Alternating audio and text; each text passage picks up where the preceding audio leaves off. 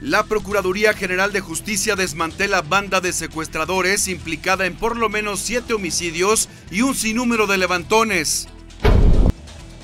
El PAN anuncia la toma de San Luis con una estrategia partidista de posicionamiento de sus candidatos. Afirma Protección Civil de la capital que el 100% de las estancias infantiles están en regla. El ayuntamiento soledense se lava las manos en atraso de obras del río Santiago.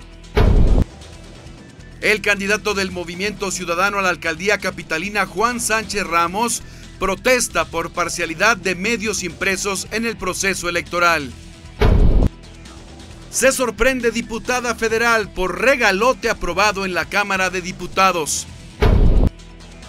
Amaga delegada de gobernación con ceses fulminantes de funcionarios federales que desvíen recursos o tiempos en campañas electorales. Universitarios quieren participar en designación de directores de facultades y escuelas. Es viernes de la noticia con humor en la nopalera de Rubén Zapata. Este fin de semana intensa actividad de las selecciones mexicanas de fútbol.